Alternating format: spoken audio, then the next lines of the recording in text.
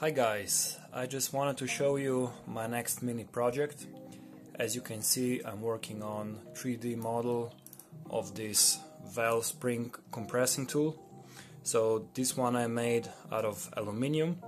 Now I wanted to do a model for 3D printing and as you can see the construction is similar and dimensions are very similar but since this is a 3D printed model I can uh, you know put some nice geometry in it. So it looks like a proper tool. As you can see it's got nice arc here over the top. And then it's got a hole on the top. And at the bottom there's a lip. As you can see this is where the spring plate uh, comes and this edge here prevents the tool from slipping. So um, I think this will print out just fine.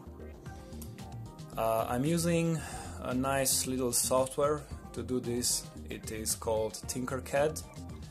It's really easy to use and uh, easy to learn. So I basically made this model in a couple of hours although I do have some previous experience with 3D modeling. Uh, it's been like 10 or 12 years ago, so you know I basically forgot everything. But this software is free, it's very easy to use, it is uh, browser based, so all you need is an internet connection and you can use it. Of course, I'll put a link down below, and you can then export your project in .obj or .stl files which you can then import into routing software. Uh, I'm using uh, Ultimaker Cura software here. As you can see this is our 3D model. Uh, I've got it placed in the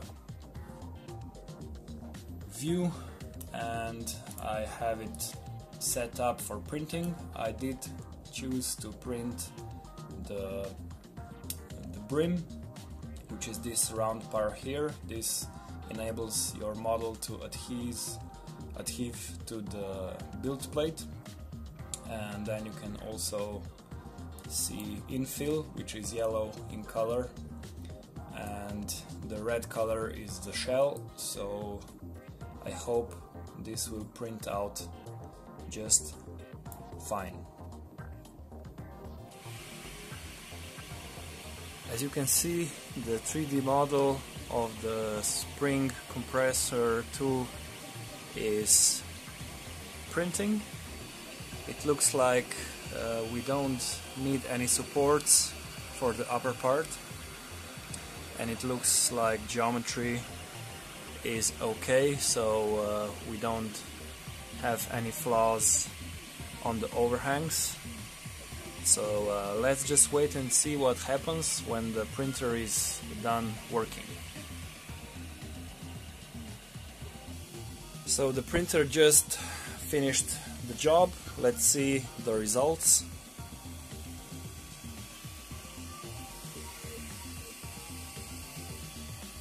I will just take off the model. Okay, so we have the finished print. As you can see, the quality is not perfect, but it doesn't have to be. This is a working tool. It just needs to do its job. And as you can see, the arching overhangs are not perfect, but they did print out okay without using any supports also this bottom part which has which has uh, quite severe overhang printed out nicely. There were some supports here but uh, they are now removed. And as you can see we have this one and a half millimeter lip and this uh, edge here prevents the tool from slipping off the spring so I think this tool will work just fine. It feels very strong. I don't think it will break under pressure. and since it is symmetric it means you can do the job uh, from each side if you want to but I think you can do you can change or take out the keepers uh, just by using one side or one opening so this turned out fine it took about 45 minutes to print. I used PLA uh, filament which is uh, I think a bit more robust and it doesn't have uh, as much shrinkage as the ABS so I think this is this is a totally usable model or prototype I am also working on this metal bracket. I want to do a 3D print model of this design. Uh, now I did simplify the design.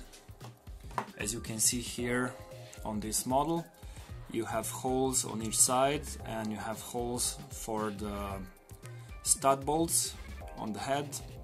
So the idea is that you bolt this onto the head and then you can use this bolt or uh, this uh, threaded bolt uh, like this. And you can screw it in and then compressing the valve with the head. Now I am working on printing this out and uh, see if this tool will work this bracket just finished printing as you can see I haven't taken it out of the printer I will try to do that now. Okay, it seems to be pretty stuck.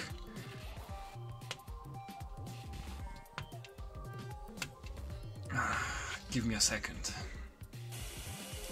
I'll try to remove this brim first, maybe that will help.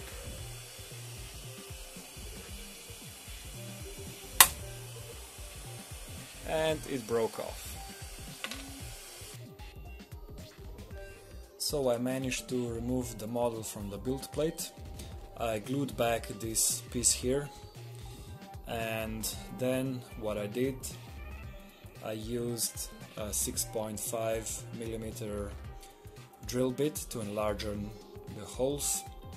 And then I use this tap to thread the hole with M6 actually M8 thread.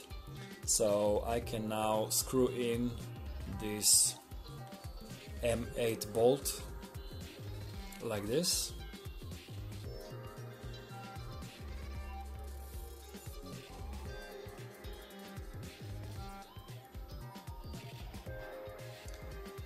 so this gives me the right angle. And I've also uh, made this bolt with this uh, head socket. And as you can see this part here slots into this hole. So this gives us some stability. And now when you want to use this tool you just put this bracket on the cylinder head and then you use the original M6 nuts to secure this bracket to the head and then you can screw this nut and compress the spring. That will enable you to remove the keepers and then of course do the valve stem seals replacement. So this is just a prototype for now. I will have to test out the dimensions and design and I also have to test the strength of this uh, material. Uh, of course, we have to make sure that everything is strong enough so we can do a complete change of all the seals. So uh, stay tuned for the update and uh, I guess I catch you next time.